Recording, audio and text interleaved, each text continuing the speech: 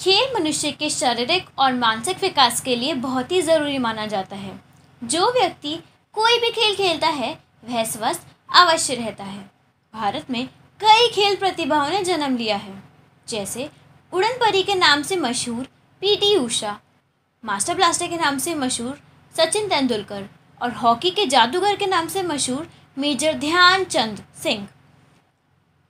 अब प्रश्न आता है, राष्ट्रीय खेल दिवस कब और क्यों मनाया जाता है?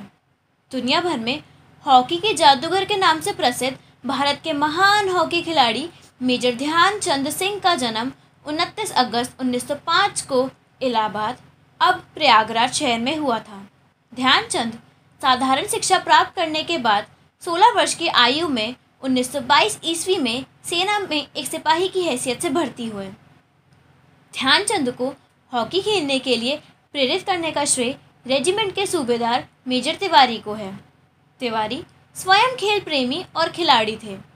अपने खेल में उत्कृष्ट प्रदर्शन के कारण ध्यानचंद सन 1927 ईस्वी में लास्ट नायक सन 1932 ईस्वी में नायक नियुक्त हुए और, और सन 1936 ईस्वी में उन्हें सूबेदार बना दिया गया।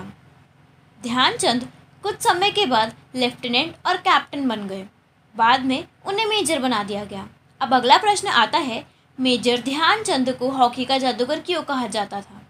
मेजर ध्यानचंद हॉकी के बहुत बेहतरीन खिलाड़ी थे कि गेंद एक बार उनके स्टिक में चिपक जाए तो गोल करने के बाद ही हटती थी। यही कारण था कि एक बार बीच खेल में उनकी स्टिक तोड़कर देखा गया कि कहीं उनके स्टिक में मैग्नेट तो नहीं लगी, जो कि बॉल को चिपका लेती है। यही कारण है उनको हॉकी का जादूगर कहा जाता था।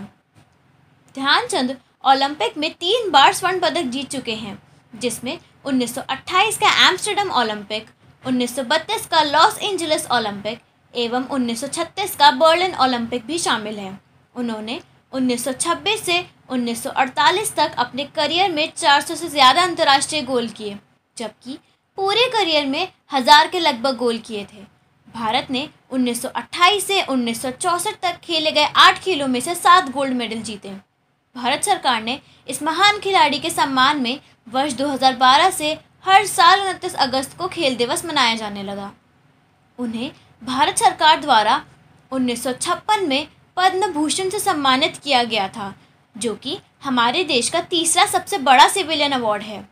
नेशनल स्पोर्ट्स अवार्ड्स के अंतर्गत अर्जुन अवार्ड, राजीव गांधी खेल रत्न अवार्ड और द्रोणाचार्य अवार्ड जैसे कई पुरस्कार देकर खिलाड़ियों को सम्मानित किया जाता है। इन सभी सम्मानों के साथ ध्यानचंद अवार्ड भी इसी दिन दिया जाता है।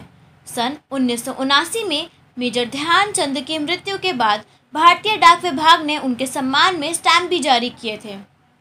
वहीं दिल्ली के राष्ट्रीय स्टेडियम का नाम बदलकर मेजर ध्यानचंद स्टेडियम रखवा दिया गया था और उन्हें श्रद्धांजलि अर्पित की गई थी। इसी के साथ मैं आप सभी को राष्ट्रीय खेल दिवस की हार्दिक शुभकामनाएँ देती हूँ। धन्यवाद।